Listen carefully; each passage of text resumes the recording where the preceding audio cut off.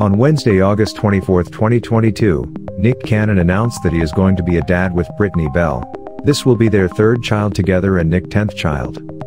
Nick took to Instagram time stopped and this happened he shared a photo that was a beautiful maternity shoot of Nick and Brittany along with this caption and announced their third pregnancy.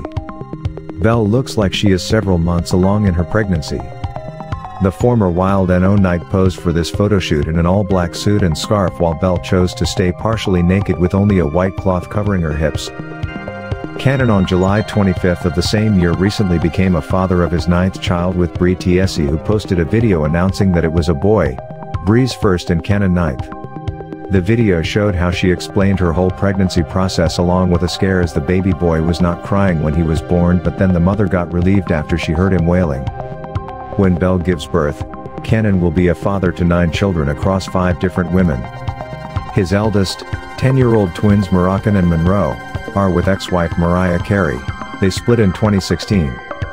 In June 2021, the comedian had another set of twins, Zion Mixolydian and Zillionaire, with DJ Abby De La Rosa, and another son, Zen, with model Alyssa Scott.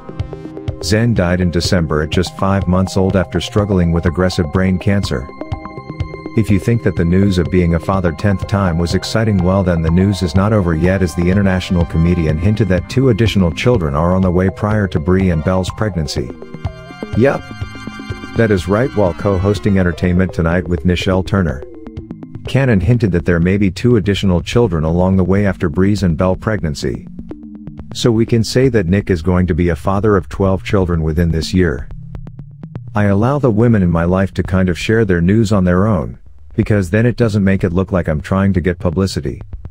When they're ready to speak on who and what and where, I support.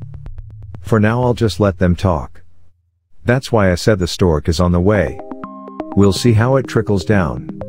He said, adding that you would be safe to bet on three children in 2022.